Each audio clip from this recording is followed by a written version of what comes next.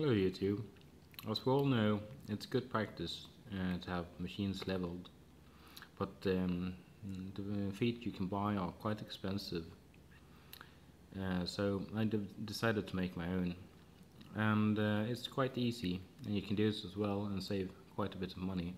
You just buy uh, the small sized hockey puck. Uh, you take the leveling screw that's in this case off my surface plate and drill and tap for a small screw. And you use um, a step drill to make uh, a hole.